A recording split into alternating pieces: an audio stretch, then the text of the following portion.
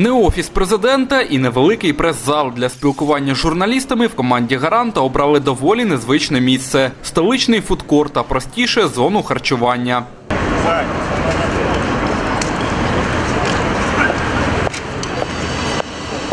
Будівлю пропускали усіх бажаючих, однак на другий поверх, де й відбувалося спілкування президента з журналістами, могли пройти лише представники ЗМІ. Незвичне місце обирали навмисно, аби розмова проходила в більш відвертій атмосфері, зазначив Володимир Зеленський. Просто не хотілося якусь а, таку, знаєте, зустріч офіційну, підготовлені якісь питання, підготовлена зустріч. Я хотів, до речі, я, я, вибачаю, що я трішки запізнився, тому що я хотів чесно. Я бігаю зранку. Ну, зараз є можливість, я приїхав в місто, і я зараз бігаю. Тому я хотів прибіжати, але мені сказали, що це буде неповага до вас, що я буду у спортивній формі. Поки на першому поверсі відвідувачі куштували різноманітні страви, буквально зверху обговорювалися питання національного масштабу.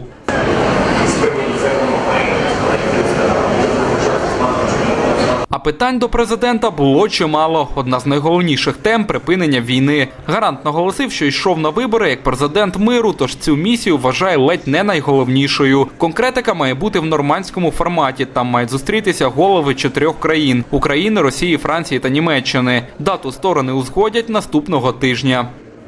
З чим ми туди виходимо? З самого початку. Добре. Розведення станиці Луганській. Ми хотіли це? Так. Ми його зробили. Далі. Підтвердження тексту формули Штанмаєра.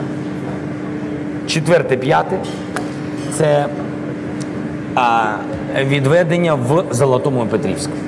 Продажу землі бути, але лише українцям. Іноземцям, на думку президента, у потенційно новому законі щодо запровадження ринку землі потрібно заборонити купівлю українських сільськогосподарських ділянок. Однак такий мораторій має бути лише тимчасовим, а не постійним.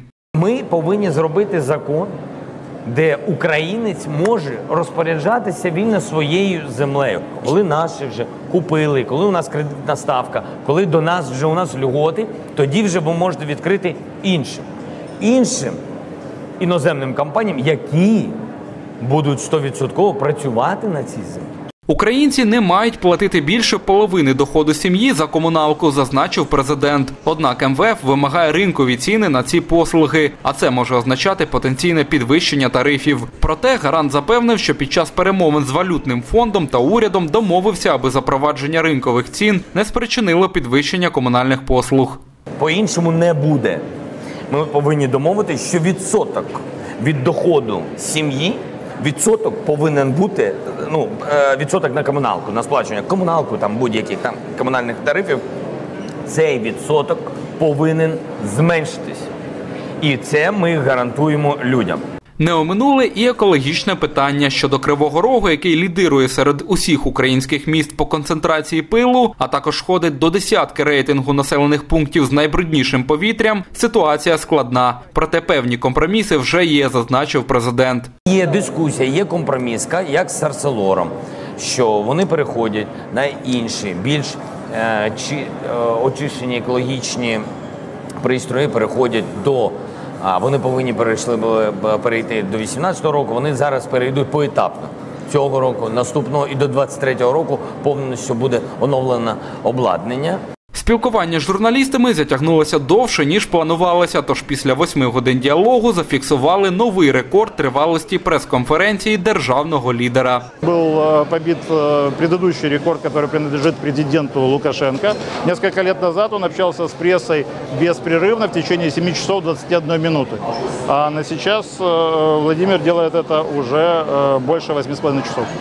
На думку політолога, в цілому такий формат спілкування президента з журналістами можна вважати вдалим. Відповіді гаранта в більшості були чіткі та зрозумілі для населення.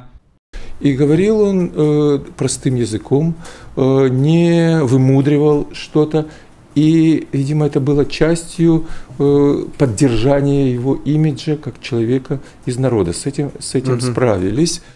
Згодом встановили і світовий рекорд. Володимир Зеленський спілкувався з пресою з 10 ранку до опівночі, в цілому 14 годин. Довшого діалогу з журналістами серед інших світових лідерів ще не було. Володимир Гросел, Тамара Дмитренко. Підсумки тижня. Перший міський Київ.